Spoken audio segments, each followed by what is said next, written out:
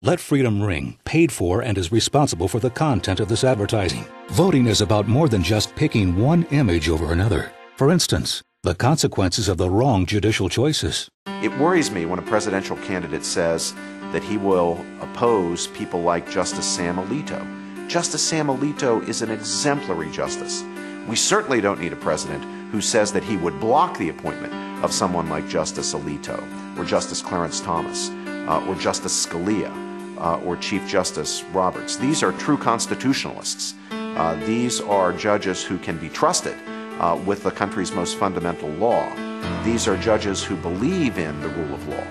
Uh, to deviate from that would be a grave offense, and to have a president who would appoint justices who would deviate from it would be a great offense against the Constitution and a great disservice to the country. The election in November has serious consequences. It's time to think beyond the rhetoric. For more information, go to consequences.org.